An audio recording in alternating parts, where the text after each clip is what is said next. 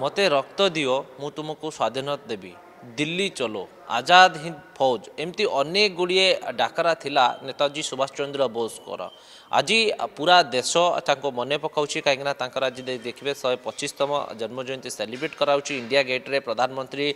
declare कर गोटे statue लगे बर्तमान आम मेघदूत भवन में रहीचे मो पछपटे देखिपे गोटे रेड कलर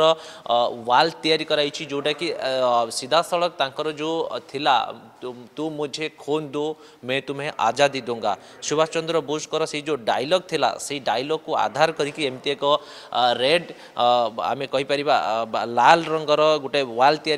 पछपटे और ये गोटे मेमोरियाल प्रस्तुत कराई प्रति फ्रीडम स्ट्रगल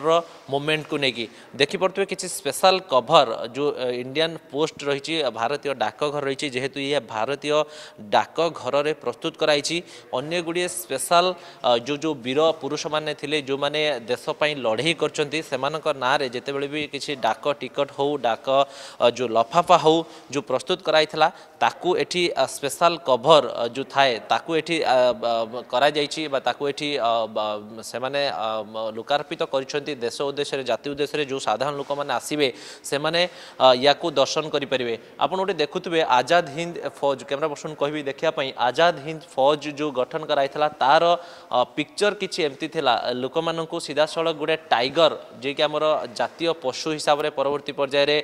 তাকে ডিক্লারেসন করাই তার যে ফ্লাগ লা কিছু এই প্রকার ফ্লাগ লা যেটা কি সিধাসল করুছি যে আমি কমিটি আটাকিং মোড্রে বিদেশি রাষ্ট্রকে এটু হটাইছু সেমিতি এইটু হি অন্দাজ লগা যাই পারে যে সে কিভাবে ঢঙ্গে ভারতীয় যে যোদ্ধা মানকর লিডরশিপ নৌলে এবং কেতে একটিভ রাখুলে সে কিছু অনেক গুড়িয়ে পদবী মিলুলা জেনারেল কুহতু লেফটেন্ট জেনারেল কুহতু মেজর জেনারেল কুহতু কর্নেল কুহতু লেফটেন্ট কর্নেল কুহতু মেজর কুহতু कहतु कैप्टेन कहतु फास्ट लेफ्टनेंट कहतु सेकेंड लेफ्टनेंट कहतु सब अफिसर कहतु नायक जो नाबिलदार कहतु लांस नायक कहतु अनेक गुड़े पदवी अनेक गुड़े मर्यादा मिलता देश में मिली देश बाहर मिली कहीं भारतीय सेना बाहन जन कहले अत्युक्ति हे ना जो भारतीय सेना जो मैंने ब्रिटिश लड़ुते ब्रिटिश लड़िकी निज राष्ट्र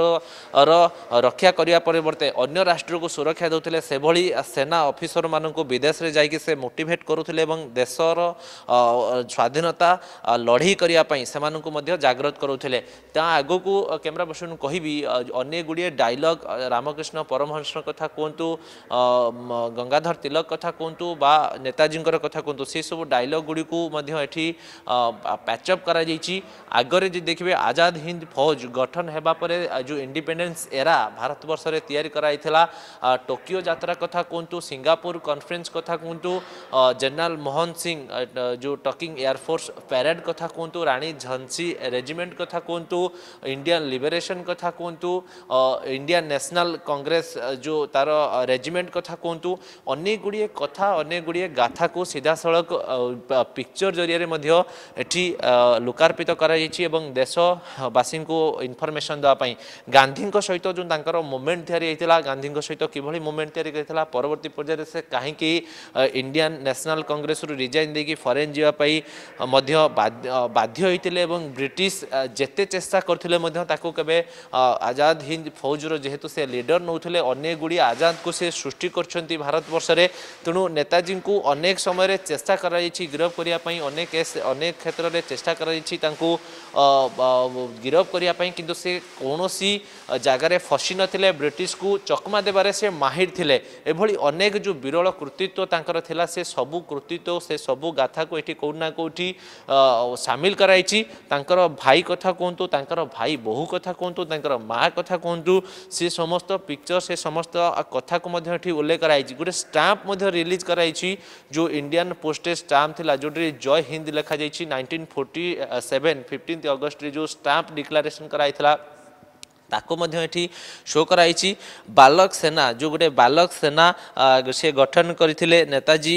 ଯେଉଁ ତାଙ୍କର ବାଲକ ସେନା କଥା କୁହନ୍ତୁ ବା ଯେଉଁ ମହିଳାମାନଙ୍କୁ ଆଜି ଯେଉଁ ଭାରତୀୟ ସେନାମାନଙ୍କରେ ଯେଉଁ ମହିଳାମାନଙ୍କୁ ଆପଣ ଦେଖୁଛନ୍ତି ସେତେବେଳେ ମଧ୍ୟ ରାଣୀ ଝାନ୍ସି ରେଜିମେଣ୍ଟ ଯେଉଁ ମହିଳାମାନେ କାମ କରୁଥିଲେ ଘରେ ରହିଯାଉଥିଲେ ଯେଉଁ ଝିଅମାନେ ଚାହୁଁଥିଲେ ଫ୍ରିଡମ୍ ମୁଭମେଣ୍ଟରେ ସାମିଲ ହେବା ପାଇଁ ତାଙ୍କୁ ମଧ୍ୟ ନେତାଜୀ ଗୋଟେ ସୁଯୋଗ ଦେଇଥିଲେ ସେତେବେଳେ ଗୋଟେ ରାଣୀ ଝାନ୍ସି ରେଜିମେଣ୍ଟ ମଧ୍ୟ ପ୍ରସ୍ତୁତ କରାଯାଇଥିଲା ଯେତେବେଳେ ସିଏ ଇଣ୍ଡିଆନ୍ ন্যাশনাল কংগ্রেসর প্রেসিডেন্ট হয়েছে যেতবে সে কালকাটা যাই প্রথম অভিভাষণ রাখিলে তেমনি সে মুভমেন্টকু এটি স্থাপন କରାଯାଇଛି ଦାସବନ୍ଧୁ ଚିତ୍ତରଞ୍ଜନ ଦାସ କଥା କୁହନ୍ତୁ ରାସବିହାରୀ ଦାସ କଥା କୁହନ୍ତୁ ଗାନ୍ଧିଜୀଙ୍କ ସହିତ ତାଙ୍କର ମୁଭମେଣ୍ଟ କଥା କୁହନ୍ତୁ ସ୍କଟିଶ କଲେଜ କଥା କୁହନ୍ତୁ ପ୍ରେସିଡେନ୍ସି କଲେଜ କଥା କୁହନ୍ତୁ ତାଙ୍କ ପରିବାର କଥା କୁହନ୍ତୁ ଯେଉଁଠୁ ସେ ପାଠ ପଢ଼ିଛନ୍ତି ଯେଉଁଠୁ ସେ ଆସିଛନ୍ତି କାଲକାଟାରୁ ଆରମ୍ଭ କରିକି ଫରେନ୍ ପର୍ଯ୍ୟନ୍ତ ସବୁ କଥା ସବୁ ଗାଥାକୁ ଏଠି କେଉଁଠି ନା କେଉଁଠି ଉଲ୍ଲେଖ କରାଯାଇଛି ଏବଂ ୟା ଭିତରେ ନିଶ୍ଚିତ ଭାବେ যেহেতু আমি ওড়িয়া আমি মধ্যে গর্ব করা উচিত যে নেতাজী যে জন্মগ্রহণ করছেন নেতাজী যে ভারত এতে বহুত গুড়িয়ে কাম করছেন আজ তাঁকু সবু ভারতবাসী মনে পকাও তেমন নিশ্চিত ভাবে রাজ্য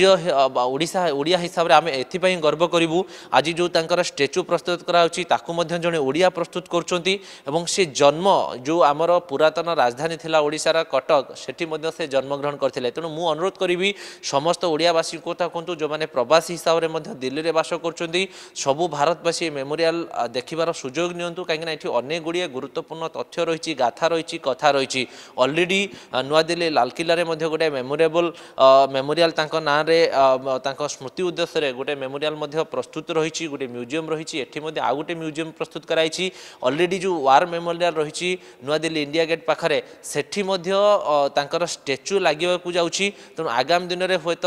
ଡିମାଣ୍ଡ ଏମିତି ଆସିଲାଣି ଷ୍ଟାଚ୍ୟୁ ଅଫ୍ ଡିଗ୍ନିଟି ୟୁନିଟି ନାଁରେ ଏମିତି ଏକ ଡିମାଣ୍ଡ ମଧ୍ୟ ଆସିଲା ଯେମିତି ଷ୍ଟାଚ୍ୟୁ ଅଫ୍ ୟୁନିଟି ଅଛି ସେମିତି ଷ୍ଟାଚ୍ୟୁ ଅଫ୍ ଡିଗ୍ନିଟି ନାଁରେ ମଧ୍ୟ ଗୋଟେ ଷ୍ଟାଚ୍ୟୁ ତାଙ୍କର ତିଆରି କରାଯାଉ ତେଣୁ ଆଗକୁ ହୁଏତ ଆହୁରି ଅନେକ ଜିନିଷ କେନ୍ଦ୍ର ସରକାର କରିପାରନ୍ତି ଯେଉଁ ଅଠେଇଶ ଫୁଟ ଉଚ୍ଚତାର ଯେଉଁ ତାଙ୍କର ପ୍ରତିମୂର୍ତ୍ତି ଇଣ୍ଡିଆ ଗେଟ୍ରେ